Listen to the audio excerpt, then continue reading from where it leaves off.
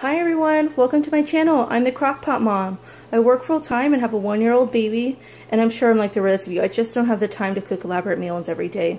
So I've become totally obsessed with my crockpot, and I've made so many delicious meals with it, and it's so convenient. I try to make as many meals throughout the week as possible.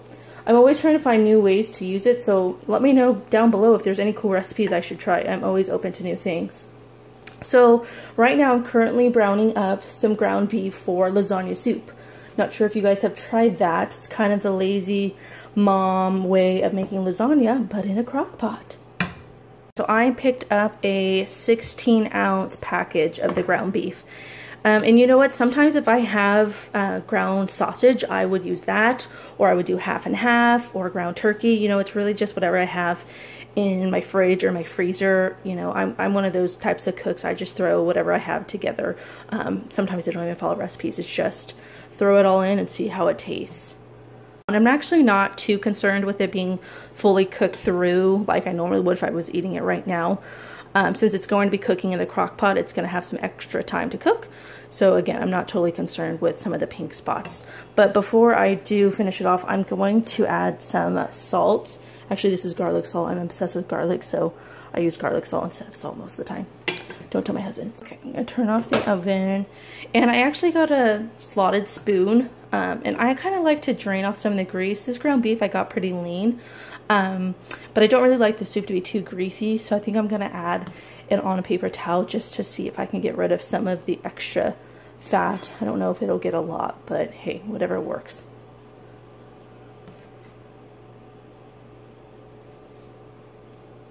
Okay, before I start dumping the ingredients, I'm just going to go over them really quick. They, it is so simple, guys. I can't even explain it. Um, there will be a couple more ingredients tomorrow, but I didn't mention I am prepping this crockpot meal the night before. So tomorrow when I get up right before work, I'll pop it out in the crockpot. Um, and all I have to do is just put it in, in, the, in the base. I don't have to, you know, empty any cans or anything like that. So it's going to be super easy in the morning. So we have that ground beef that we browned up. I chopped up a small onion. I have a can of diced tomatoes, uh, a jar of my pasta sauce that you would use if you were eating pasta, and some chicken broth. And that's it, guys.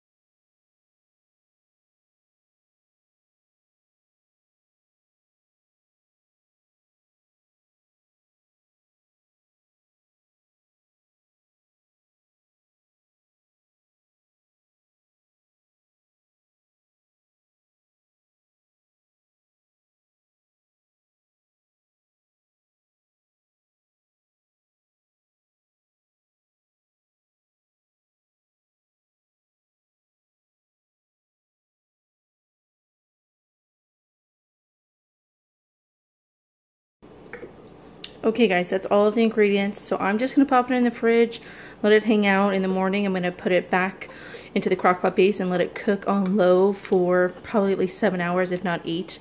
When I'm at work, my crockpot turns automatically to warm when it's reached um, the time limit I've posted. So I will see you back tomorrow with more ingredients to finish off the recipe one more thing guys that I wanted to add. Um, I didn't add any extra seasoning because the pasta sauce had a lot already and I didn't want to make it too overpowering. So tomorrow when it's warmed up and all the flavors have kind of um, blended together, we will give it a taste and see if we should add any more salt or basil or thyme, anything like that. So that's why I didn't add anything else. And since I'm here, I also steamed up some broccoli. So tomorrow, again, simple. All I have to do is warm up the broccoli and it's ready to go with the soup. And that's it. All right, so I'm back from work. The soup's been cooking all day. Now we have some lasagna noodles. Um, and these are raw. I didn't cook them. They are going to cook in the soup. So I'm finishing the soup off about an hour, maybe not even an hour before we are going to eat. Um, so the raw noodles, I just broke them up by hand, nothing special. And I have some heavy whipping cream just to thicken it up just a tad, not by much, but um, I like to add that a little bit. So we're gonna add the noodles.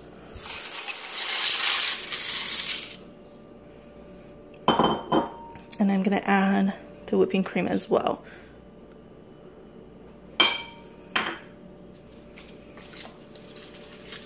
And the soup went down to um, to warm after it cooked for about eight hours, seven to eight hours. Um, so I'm gonna put it back on high so the temperature can heat back up and cook the noodles. So I'm gonna let that go for probably 10, 15 minutes and check it and see how it looks. Um, because it went back to warm, it may not um, cook the same time the box would recommend. So I will see you guys back when the noodles are cooked and I will plate it up and um, show you how that looks.